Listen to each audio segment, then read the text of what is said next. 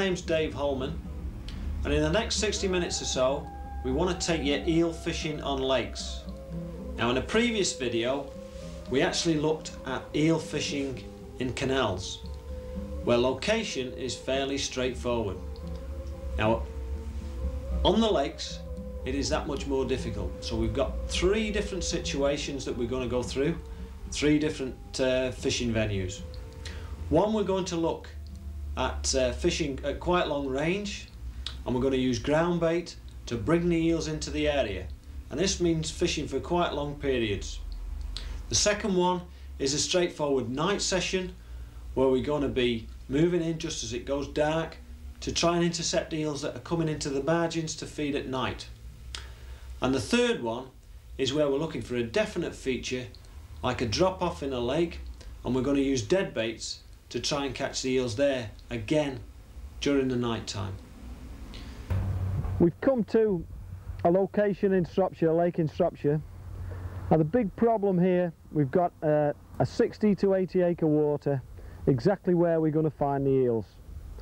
Now on a canal that's fair, fairly straightforward. We know pretty well precisely where they're going to be and we can lay the baits for them. But on a water of this size, uh, you're guessing to be fair. Now I've chosen a spot here where in the past I've certainly caught good eels and what happens is the, the depth of the water varies considerably in front of us. We've got fairly shallows off to the right hand side. It's down to about uh, 10, 12 foot on that side. As it moves across it increases depth till we've got 35 foot on this side.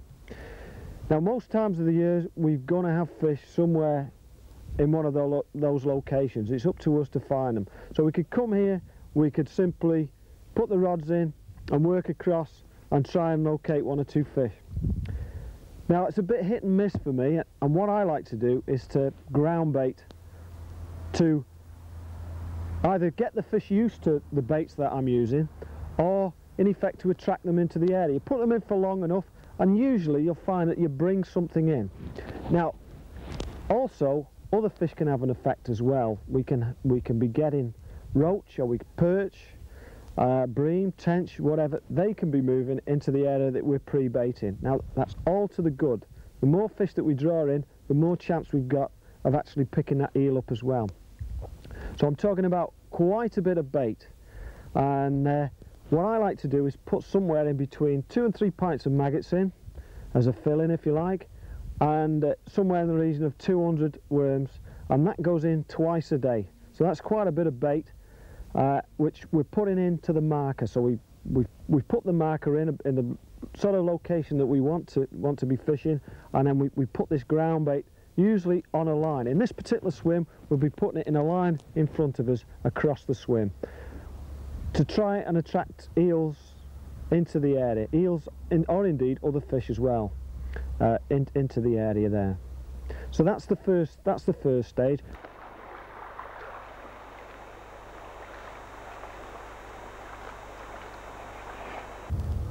Now, this particular area of the lake, there's a lot of um, snags, stones, abrasive material, roots roundabout, so we're using quite heavy tackle. Also, we're casting quite some distance. We're going 60, 70 yards out into the lake, so we need fairly heavy tackle.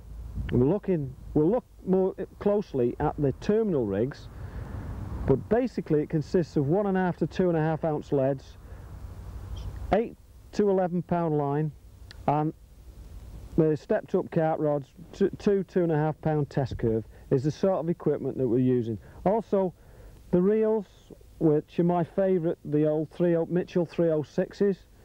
The bigger bait runners would probably do the, uh, the job well, but on this very heavy line at such a long range, we need to have that big spool. Such reels as the Mitchell 300s and the smaller ones just don't do the job adequately. So we need those, those bigger type of reels. Vital alarms, simple enough. We've got um, the AJS gripper alarms, which uh, once they go off they keep sounding until you take some action now again we'll, we'll, probably look at those a little bit later on on top of that now the big thing is we're ground baiting twice a day we put the bait out, we put the ledges out on them, is in effect to not give up. You've got to keep trying over a long session, maybe a weekend. You've got to try and just take one or two fish, perhaps a little bit more than that out during the weekend. And we're just looking for really for that one big one. So the name of the game is Perseverance and basically you can catch the fish as, as easily in the daytime as you can at night. Now night fishing, most people when they think of eels think of night time. Now the daytime you're just as likely to catch a big eel in this sort of situation in the daytime as you are at night time. So what we do is we tend to get the sleeping snatches, usually three and four hours, two, three, four hours at a time, and uh, and they come out at key at key times, such certainly first as it breaks light. Early afternoon's quite a good time to be fishing, and of course as it's going dark. So those sort of periods and catnaps basically in between. You can get your sleep when you're back at work, can't you? I mean that's the that's the thing on that. So keep at it, keep trying, and keep changing the baits. And in this spot, from the shallows through the deeps so we can be working the baits across different time of days. The other thing to watch for, when certainly when you, you're in fishing for quite long periods, is that the weather changes.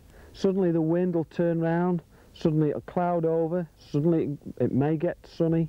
All these different conditions and it only takes one big eel to suddenly come across your worm in a feeding, uh, yeah, while he's feeding and that'll make your weekend. So that's the sort of thing that uh, we've got to keep going. Perseverance is the name of the game. Don't just give up because the first day and the night have been a blank. Keep going, keep trying. Now we can catch eels here probably through from the start of the season, the middle of June, and we can probably still pick them up into the early weeks in October. But obviously between those times there's going to be a great deal of uh, diverse conditions. Now the thing that we don't want when we're, we're fishing is dead still, uh, is, is the dead still, no wind con, con, uh, condition, especially at night when we've got clear skies. The chances are uh, you, you can hear the mouse, the mice running about on the other bank, it gets that quiet. And those seemingly, they, they, time, the chances are that you're going to have a pretty thin time of it trying to catch fish under those conditions. What you need, or what I find is the best, is when we've got overcast, some wind blowing, and hopefully warm. If you seem to be comfortable, the fish seem to come as well. So um, that's the sort of thing. That's the sort of thing I'm looking for. If conditions get really bad, and I'm talking about heavy, very heavy rain and wind, etc., then the best thing to do is to reel the rods in and retreat back into the into the bivvy, which we've got over there and, and simply survive and hopefully conditions will change and then they come back out and, and have another crack at them. During the long sessions, uh, during the really nice weather, hopefully in the June, July time, I like to just leave the bed chair right by the rods. A little bit later on in the year, very cold nights, etc., the bivvy usually goes up round there. Now this is a waterproof, waterproof job, and uh, inside we've got the bed chair and a downfill sleeping bag. Now I find that's quite important because if conditions get really bad at least you've got somewhere to retreat to and you're going to be able to survive for another day. Uh, some of the items of gear here, we look at the landing net which is very big. In fact I won't think you need a net of this sort of size for any other fish apart from eels. You can't afford to miss, miss them at the net. That's the most dangerous time, most likely time to lose the fish. With this one, cuts the number of losses right down to a minimum. 48 inch arms and uh, I don't miss very often with that. Now I haven't caught the eel, hopefully, we'll put them in a keep net here. Keep the top well high of the water that is most important because the eels can, in effect, they can slither up and out in the daytime and we got the sun on it here well what we would do then is to try and shade it somewhere if we've got eels if we're keeping them any length of time uh, perhaps for a photograph we'd try and put it somewhere in the shade obviously that, to, that way we'll keep the eels in the best sort of condition and try and peg it out so that uh, it's not all bunched up as it is at the moment.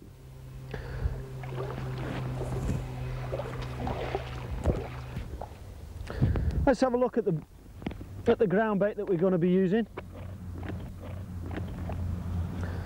Just ordinary maggots there, a couple of tins full of those, probably do the job.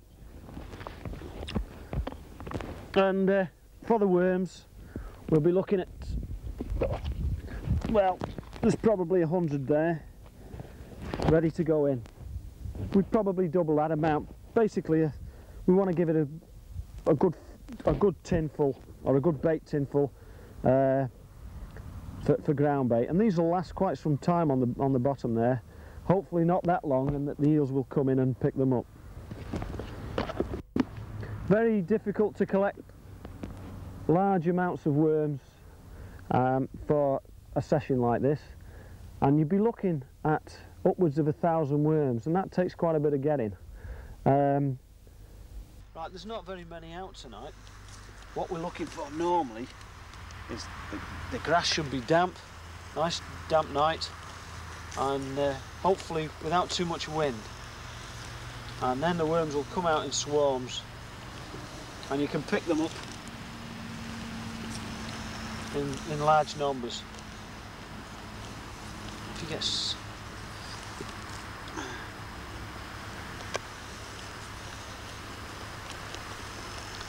They're a bit thin on the ground at the moment, so perhaps we'll have to come back a little bit later. And there's a few more out.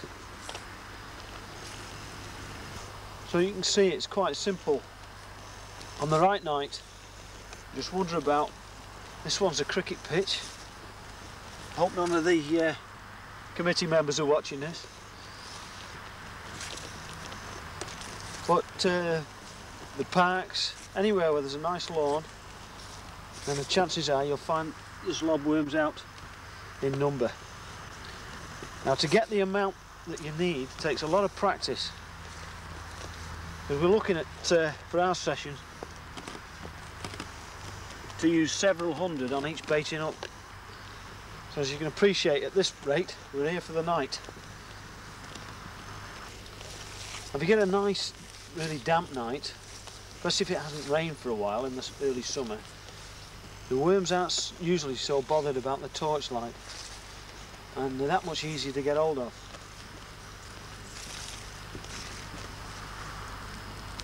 You see that one there? Very, very quick to retreat.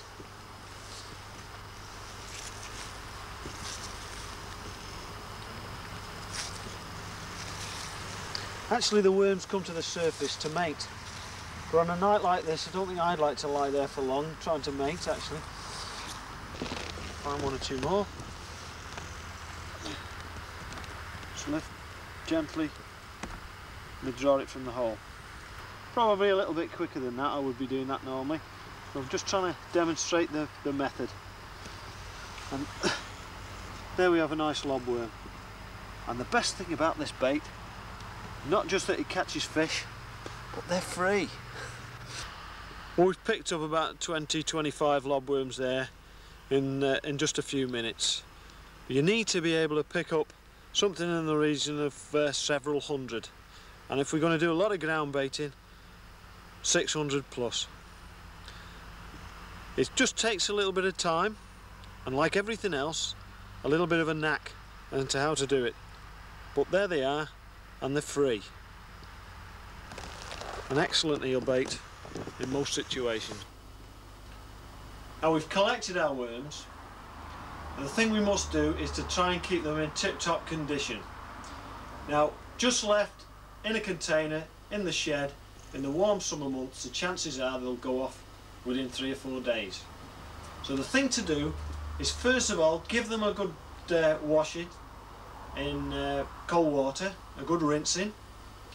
Select the whole worms, or the full worms, and discard the broken ones.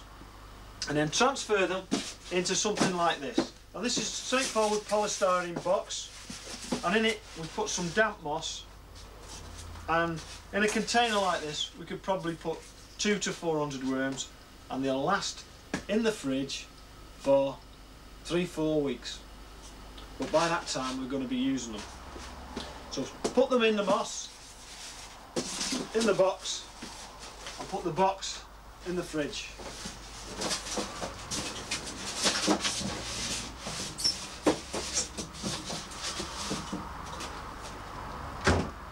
Keep it nice and cool and those worms will last for a fair while.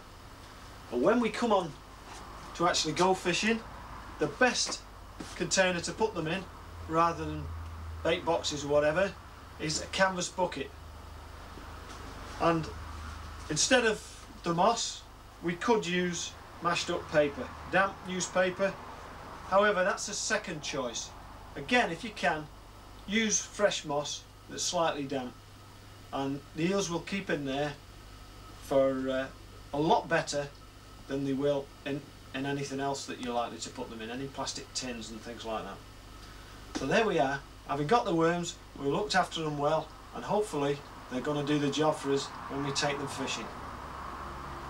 That's that's what I find is is time well spent rather than just picking up a hundred for hook baits. You need to you need to concentrate on the ground bait. The maggots really they're just a bit of a filler to try and attract other fish in. Although obviously the eels will eat them, they, they do like they do like maggots as well, and uh, small items of food they're likely to be looking for them. Now somebody's going to ask me, or somebody's going to say, why worms? Why not just put a couple of dead baits out there? Well, on a, on a water like this, the eels are very, very seem to be more preoccupied in eating smaller food items such as probably pea mussels, a little bit of crustaceans, this type of thing. Give them a big dead bait or even a smallish dead bait and quite often they don't even recognise it as an item of food. They will simply bypass it. I have spent countless hours in the past using dead baits, half baits, full baits, small baits, big baits on a water like this and for the hours that I've spent on them I've, I've had practically nil return. So with me on a water like this now it is worms and maggots which is my staple staple baits. I won't say I, I will never use a dead bait again um, but it's just really as a second as a second line when things aren't going too well basically because they just don't work the same. I would be looking at other waters where dead baits do work well hopefully and uh, and, hope, and there you will see the, the difference um, in the type of eel that is taking, taking the bait. And I hope to be able to demonstrate that with the difference between the eels from this water and a, a water where, whereby they do predominantly take fish baits.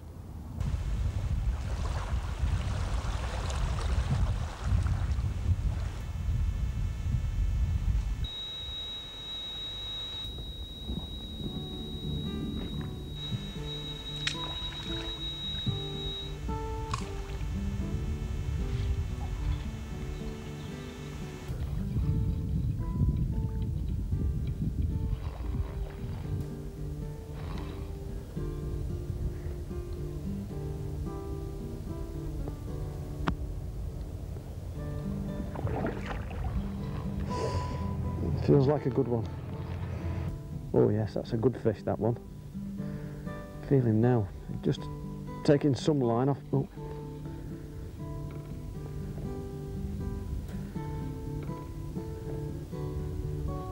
He's moving just a little bit to the right hand side. Oh, just give him a little bit of line there. Oh, goodness gracious.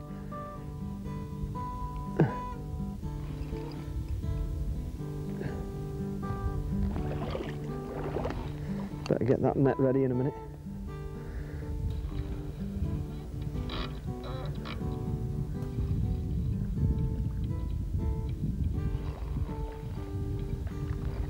Ah.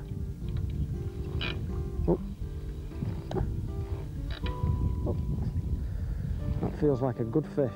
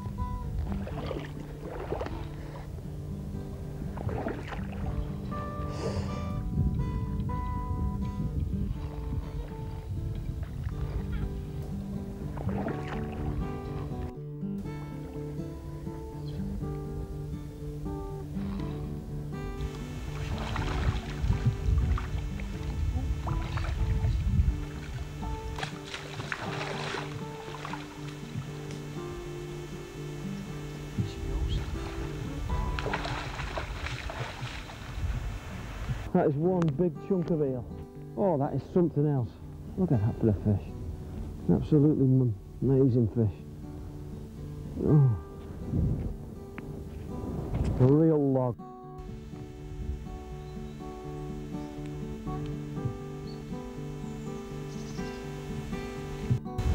Get the scales, just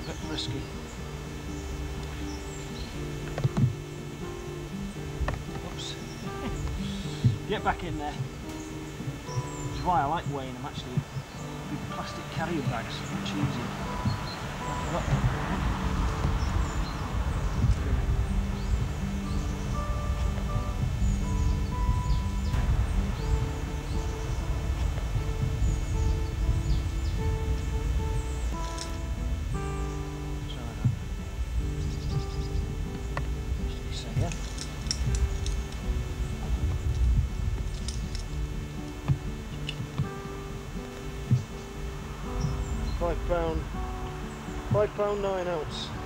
That is one big chunk of it. Oh goodness gracious. The girth on that. Oh that is something else. Amazing fish. A real log. Some fish that hmm. is. That is really nice eel. Thank you. You're a beautiful fish. cozinha do freiro.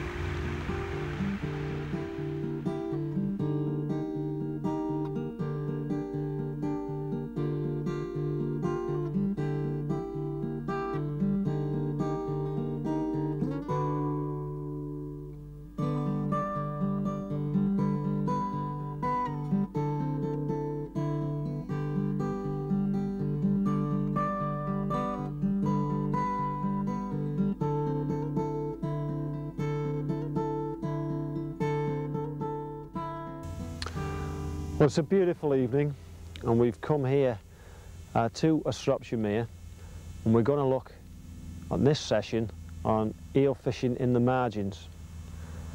Now, this is very much a one-shot method.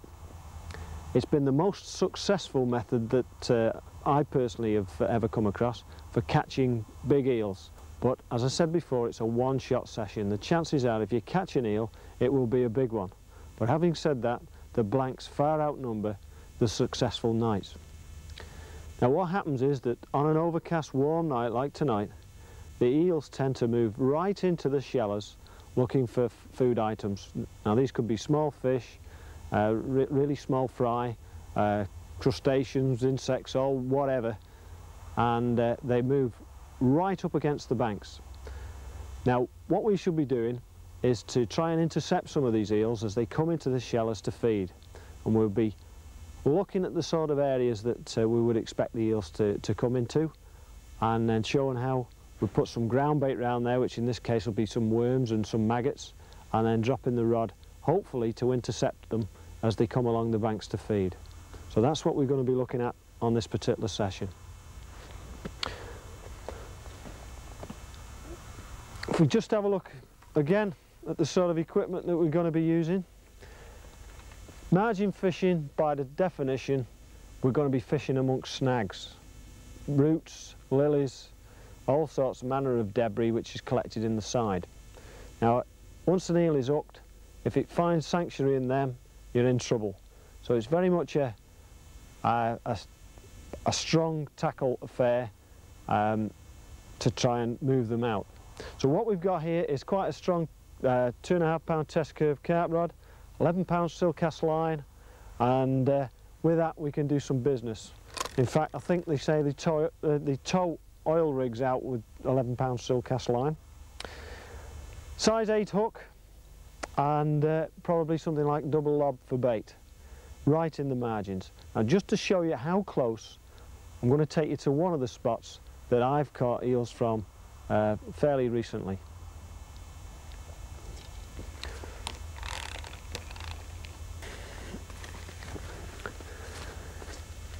Now here's the sort of ideal, the ideal margin swim. We've got lots of tree roots here, old dead branches from where this tree's fell in. Now it's quite shallow water, probably only three foot deep, three or four foot deep over soft mud. Now, the now if I go out and walk on there now I can probably see all the bottom and that there certainly won't be any signs of fish there but this is the sort of area that that big eel will move into uh, of a night time. Now forget the fishing there once it gets light it's very much uh, a nighttime pursuit margin eel fishing. Once it does get light then the eels will tend to fade away and drop into the deeper water. But this is where I would expect them to be coming probably half an hour, an hour after it gets dark into this area. So what I would do here was set up a rod. I'd try and find just an area where there wasn't any snags and just move the bait into that sort of location. But you can see that once I'd hooked one, that it's very much in the lap of the gods whether I got it out because once he gets round into that uh, all that tangle of undergrowth, I'm in trouble. This is why we need strong gear to keep them away from that sort of uh, terrain. But this is where they're going to be, this is where they're going to feed. Hopefully this is where we're going to catch them. Let's have a go at that other one up there.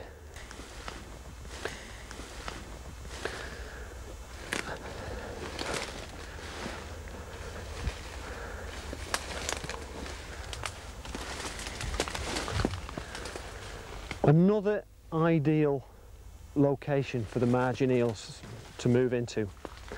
As you can see it'd be quite difficult to fish. We've got overhanging branches, we've got uh, all these reeds here. We don't clear them out obviously, we simply try and slip the rod in amongst them. Now the big problem is, even with a bite alarm on, we're not going to be able to fish right behind the rods. We're going to have to go a little bit further back on the bank uh, for the bivvy or the bed chair and wait for some form of life there. And that does two things. It takes us away from where the eels are, are feeding, where we're obviously going to disturb them if we make any sort of noise at all, and uh, gives them a far better chance to move into the area without any disturbance at all. This particular spot here, a few years ago, uh, produced a very good eel for me uh, of um, four and a half pounds. And I'm quite confident that since that time nobody's fished it. I mean, as you can see for yourself, I don't think there's been many people here, certainly for the last few seasons anyway. This is one of the essential things, trying to find somewhere where probably the anglers have bypassed the jungle, the type of jungle terrain that we're in at the moment.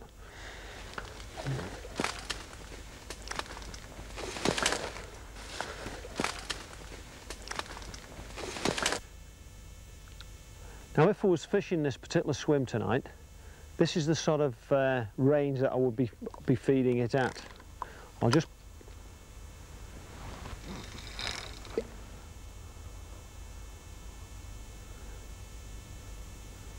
about five, six foot deep there. And I know from the past experiences it's over some soft mud. A little bit deeper towards the end of that tree there. So that's the sort of area I'd be fishing, probably putting the rod in this sort of position here. Now around it I'd drop something like 25 lobworms, probably putting them out in the line um, and uh, a good amount of maggots as well trying to intercept any eels that was moving along the bank. And this is what they do. They tend to move along and we're trying to intercept them. Keep them in the area long enough to find our hook bait and hopefully take that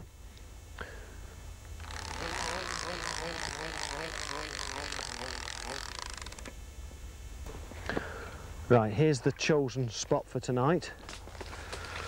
Uh, just be, now we've got the tree branches and the reeds close there, probably a couple of three foot of water and a chance that the eels will be coming right in on this spot. I'll be setting up just down here.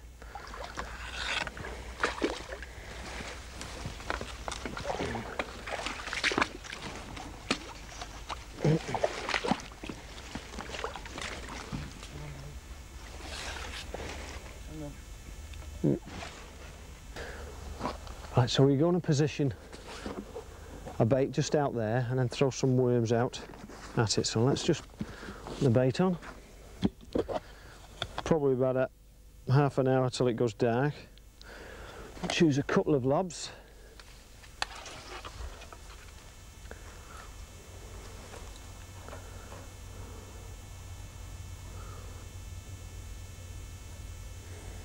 Nice big worms there, nice and lively. And now the problem, obviously, of casting in.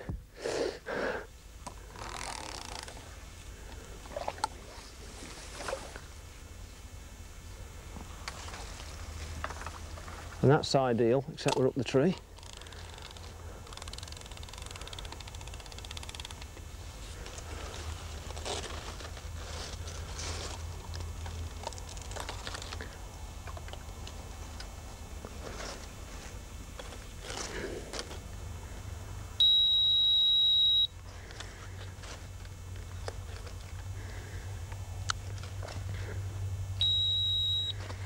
There you go. And then we'll just give them some free offerings round about the area.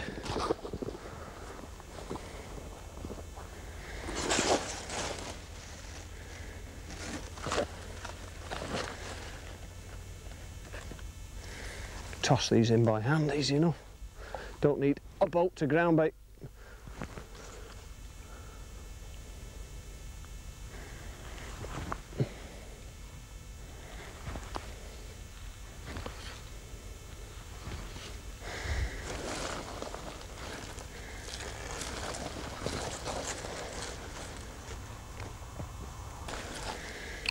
Two more.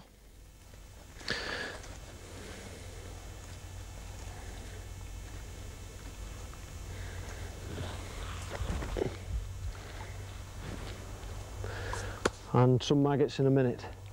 Now, a big problem obviously is once you hook an eel in this situation, then if you've done something silly like leave your landing net just a bit few yards behind you, you've got problems. So when the bite alarm goes off, you advance with the landing net and basically don't be afraid of getting too wet because you've got to go down there to tackle a fish and to net it because you'll just not draw it through this type of terrain. But there's the ambush set. All we want now is the eel.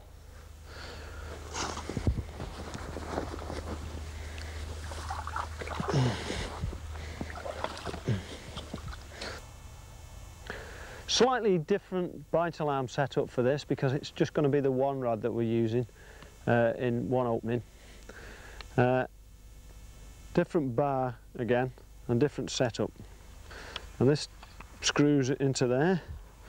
The same gripper alarm that we've used previously and shown previously. And uh, connected up. Just uh, there.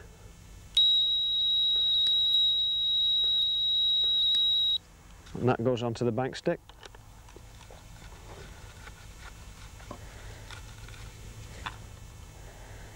And that's the job done.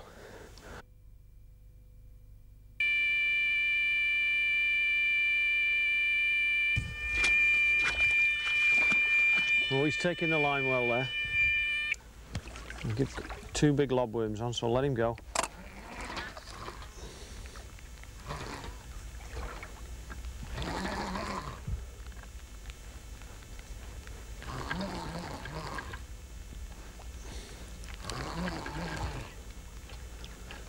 Like an eel, this one. Not another one of them horrible little pike. Oh, it feels like a fair fish, that. Just getting near those weeds, though. Oh, I think it's got me under something now. Oh, sorry now. Oh, it's been grating. Now the line's all chaffed. It's been grating under some stones. Or what a shame. Felt like a good fish that. Never mind. Let's tattle up and try again.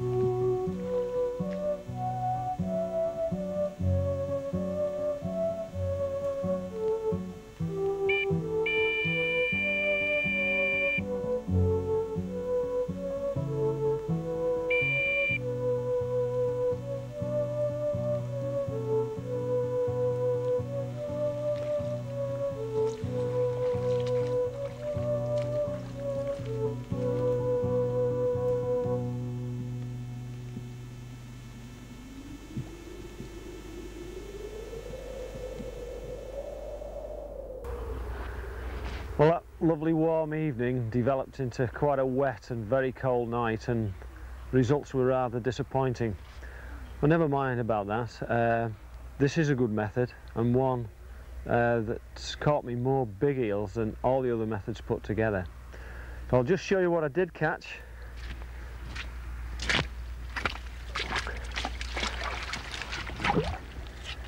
As well as that early eel, we caught a little pike. That's a good idea to retain. If you do catch this pike this size, to retain them because if you unhook them, put them straight back, they're straight back on the ground bait again and all your hard-earned lobs, they're uh, very good at devouring. You can see he's coughed up one or two there in the net. And uh, it takes an awful lot of lobworms to fill up a very small, even a very small pike like that. But now we'll put him, we'll put him back again. In fact, we'll put them both back again. Well,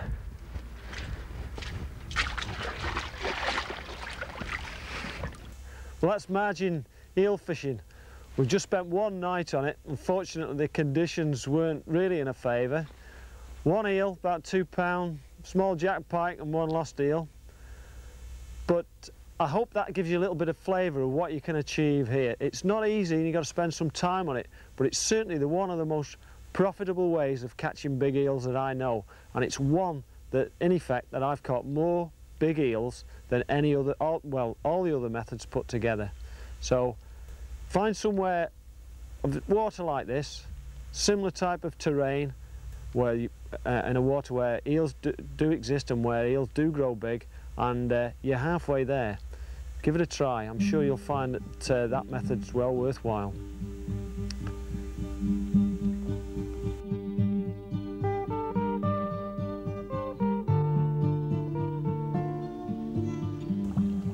We've come to Bala Lake in North Wales.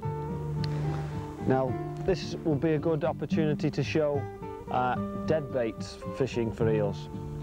Now this particular water has got good access for eels. there's two or three streams running in and two or three running out.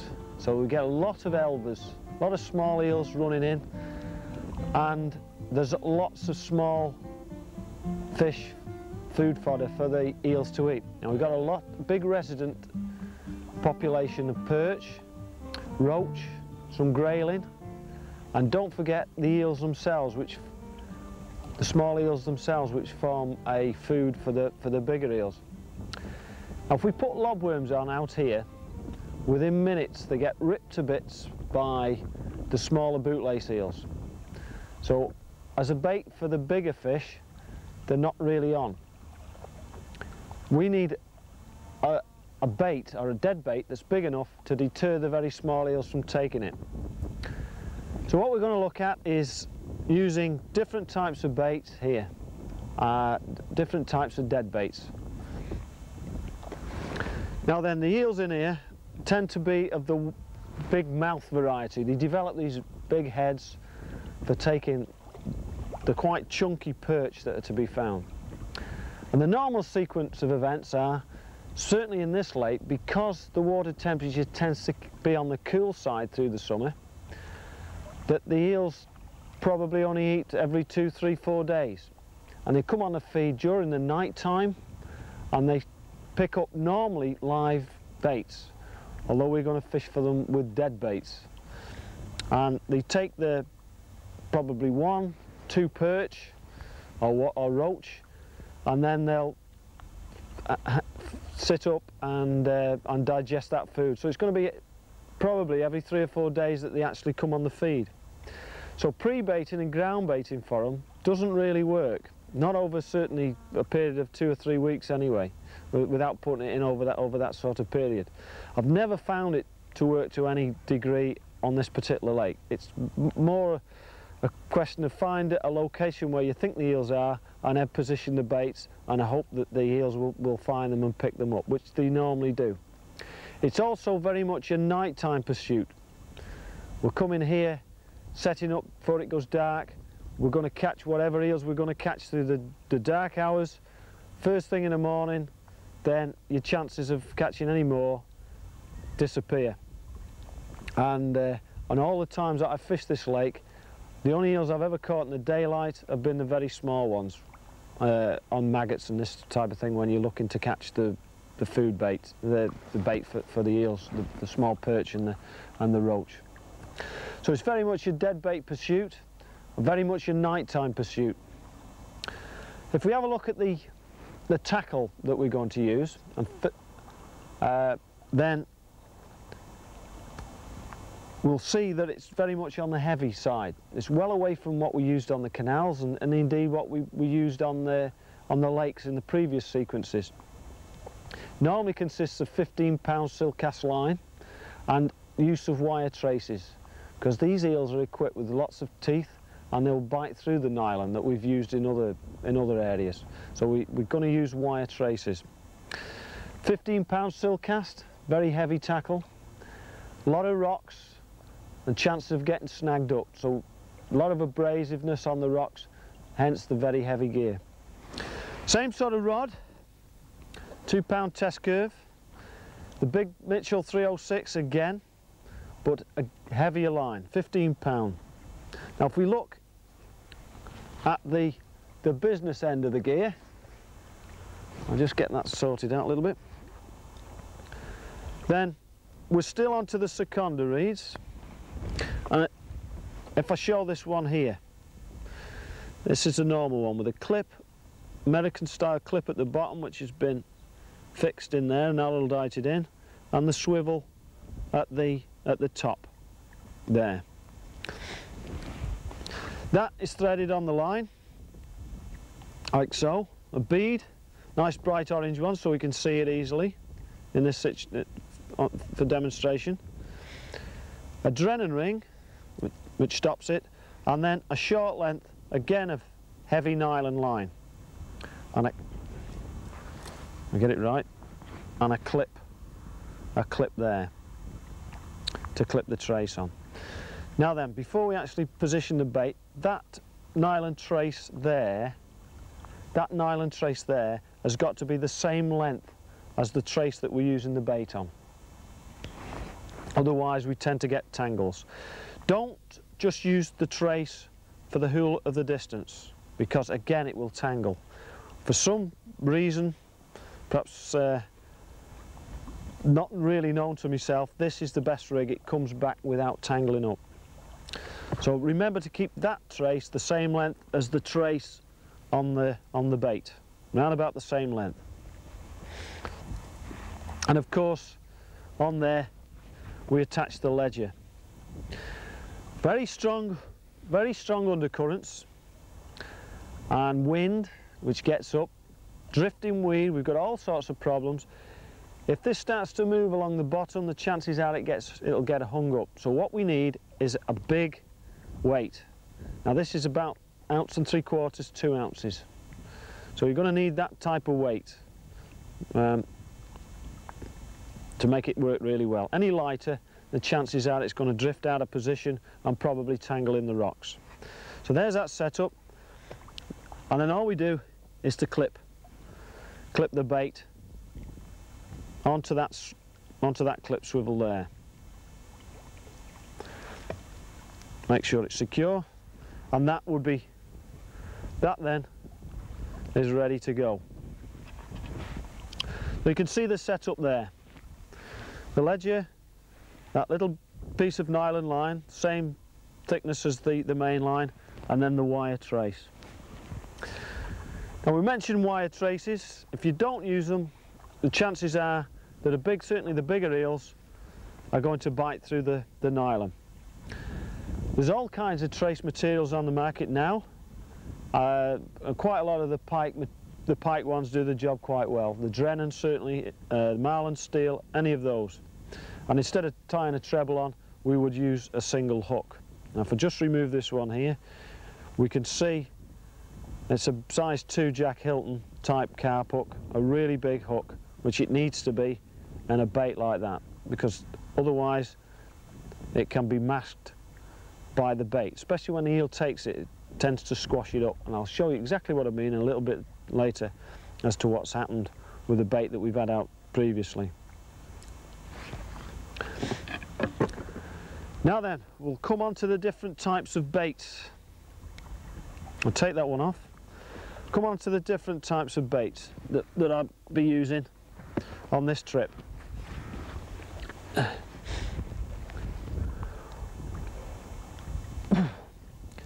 Now the lake, in all around the whole length of the lake, we've got perch. They live on the ledges and they're the most abundant fish, I think, in the whole of the lake. They're the ones that the eels seem to pick out most. Now then, we've got a small one and we've halved it. Half baits seem to work, again, a lot better than full baits on this particular lake. So that's what we're going to use on one of the rods. Uh, a half perch and the, the, the uh, single hook attached there at the top. The second bait, again a roach from, from the lake, although it's drying up a little bit now, that we caught previously. Again on a wire trace, but we're going to fish that one whole. Again, a nice small bait, and the sort of bait that in majority of waters would be your first choice. And the last one is a small eel section. Now, when you get waters overcrowded with small eels, then some of the bigger eels will become cannibal. And an eel section is the most is the best way of picking them out. In fact, I think they go predominantly as a as a cannibal fish. And my idea is that they, they don't actually feed on, on anything else. They'll just take the eel section, or they just take normally take eels naturally in the water. So we're going to use this eel, small eel section here. Now that looks a big bait, quite a big bait for any eel to have.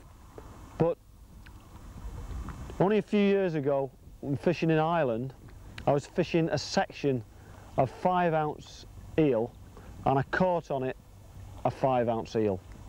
So that they will, they develop these huge heads on them and they are really distinctive and they're just feed, in my opinion, on, on the eel sections, on, on, on eels.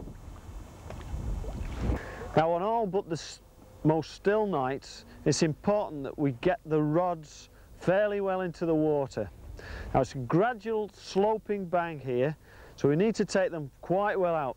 Possibility of waders, get them a little bit further. Now this is important for a number of reasons. One, we've got a very heavy undertow on the water. And secondly, so we're trying to beat that. We've got the winds which lash out at the rods and and can upset the setup. And the last point, we've got some weed here. Now this has just appeared over the last few years. Drifts along, catches on the surface of the water and catches on the line. And of course, this just builds up over a period of time and uh, can set off the alarms. So get them quite well out into the water like this, sink the rod tops right down, like this one here, sink it right down into the water. This is more the setup under the conditions as, we see, as we see them now, which is quite reasonable. If it's really blowing, we want the rod right down into the water, and that seems to cut down the number of missed runs and on it.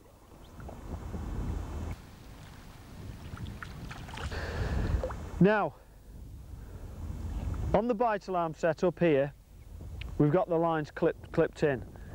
When it's blowing and heavy undertow, sometimes we need a little bit of assistance. So we'll be looking at using a line clip like this. Now, all that happens with this is it's just that little bit of extra protection. Just stick the line in there and it just takes the initial impact of the weed and the wind and the undertow. And then we connect up to the bite alarm as we've got it here. So if I just switch on and demonstrate when the eel takes, easy enough to pull it out of there and out of the back one as well, and away she goes. Easier if you've got it switched on.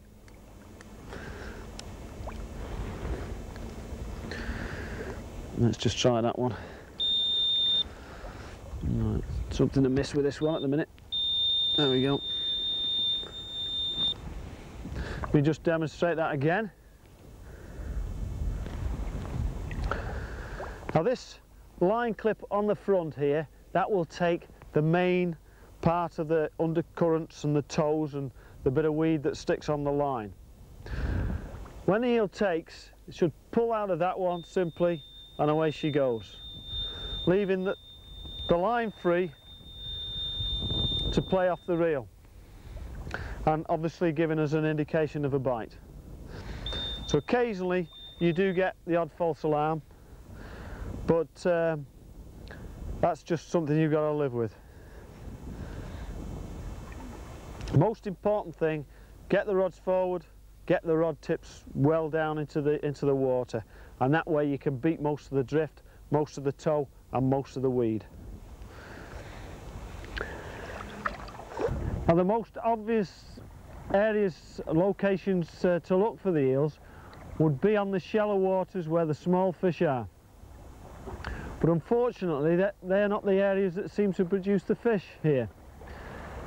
The one place that I found that fishes really well is to fish just off the deep drop-offs. Now these can be located with the echo sounder and once you've found a good area where the, you've got some good ledges where the water depth alters dramatically then put the marker in and fish to them. Now these are quite often some distance out from the bank and certainly in this location they're probably in the region of 80 to 100 yards out depending on the, the height of the lake at the time. Can't cast that far with the, the, that, those setups that I've got so the answer is to position it the baits from the boat. A little bit stronger boat than the inflatable that we've been using in the past. A lot safer quite honestly, going out in this.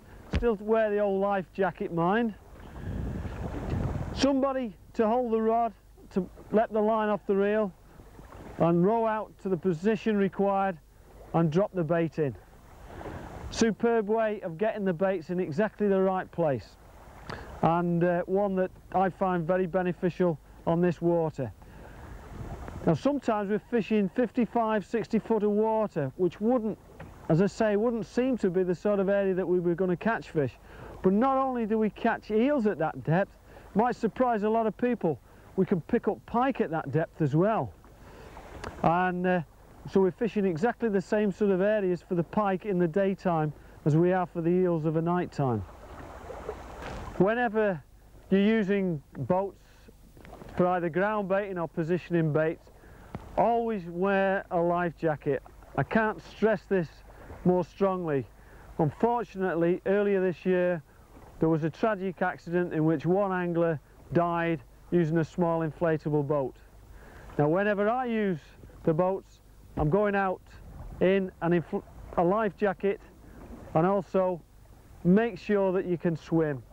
It's 80 yards out in some cold water, you could be in serious trouble if the boat uh, topples over or the wind catches it wrong. So get geared up, no fish, whatever size, is worth your life. So make sure you've got the right equipment on. Simple as that.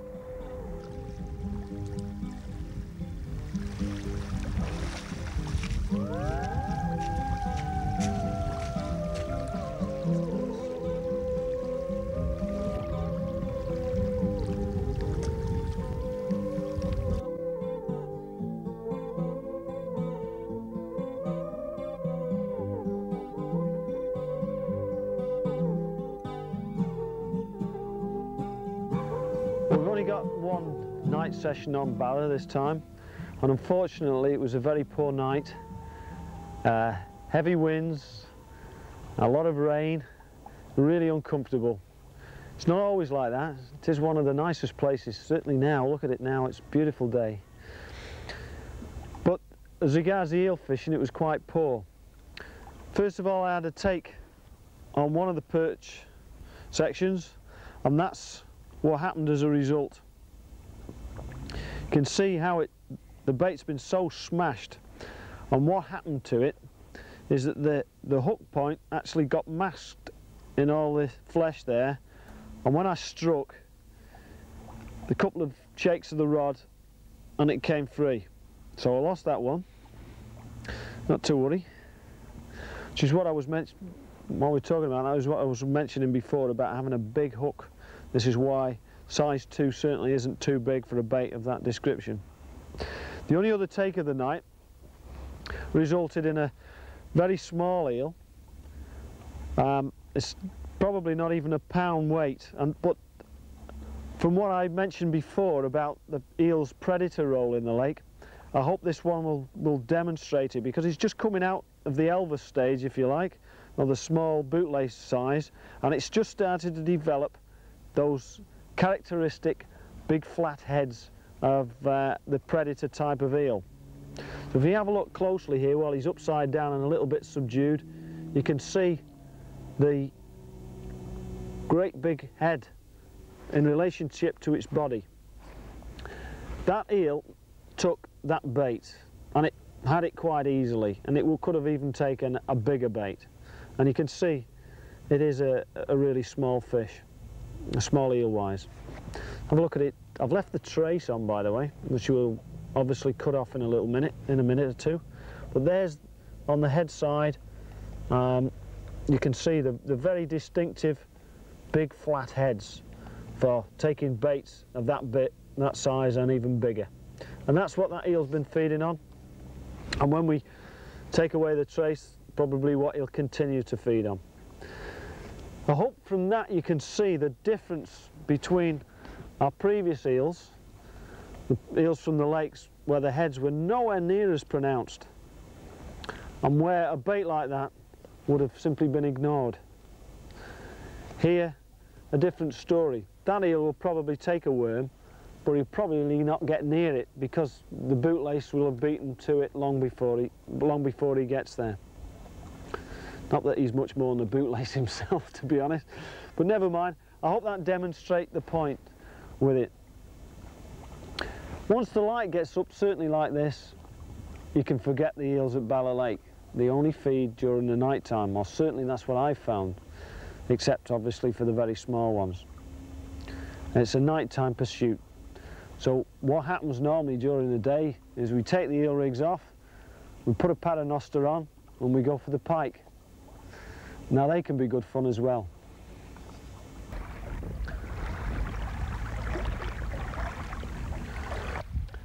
But we could only spend one night at Bala Lake and unfortunately that's produced one, just one very small eel. But don't let that put you off. There's certainly loads of good fish here at Bala Lake. Well worth a try. Sometimes the elements are against you, the high winds and rain, etc. But it's well worth tackling. Come and try it for pike as well. That's what we're doing now and hopefully we'll salvage the trip with a couple of nice pike.